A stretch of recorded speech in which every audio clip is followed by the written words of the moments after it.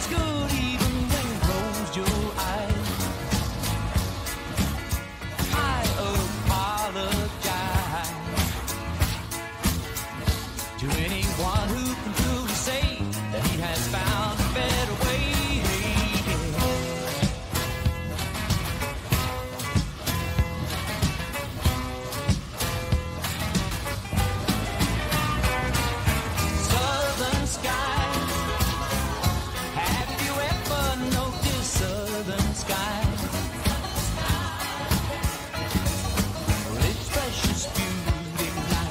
just beyond the eye it goes.